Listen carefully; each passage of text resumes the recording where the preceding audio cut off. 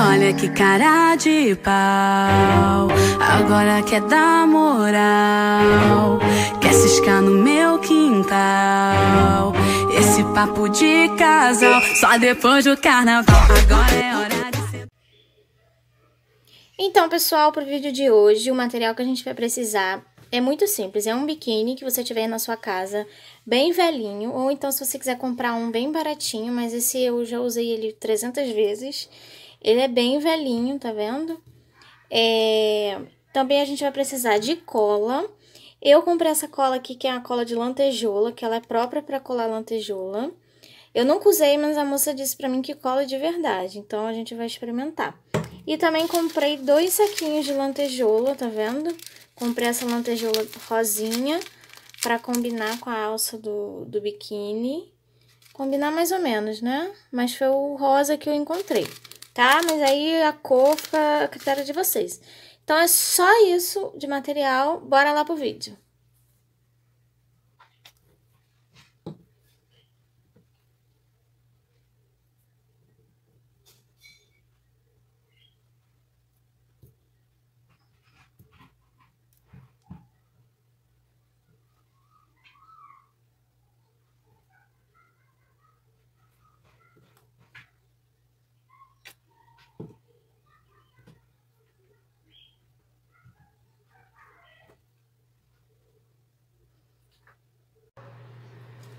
Então, pessoal, eu terminei de fazer esse lado aqui.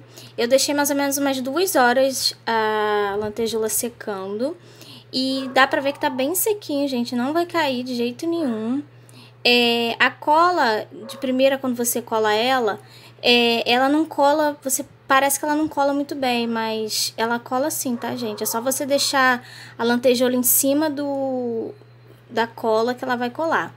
Eu ainda tô vendo aqui que tem uns buraquinhos. Eu vou... Aqui em cima também tem uns buraquinhos.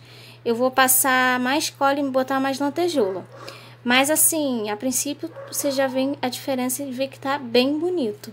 Agora eu vou fazer desse lado aqui, gente, e tá pronto, tá? Já tá pronto para uso, só deixar secar bem. Então vamos lá que eu vou fazer desse lado aqui. Pessoal, eu vim aqui só para mostrar para vocês como ficou o nosso biquíni. Ficou a coisa mais linda do mundo.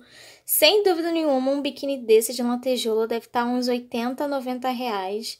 E a gente fez por R$ 2,50.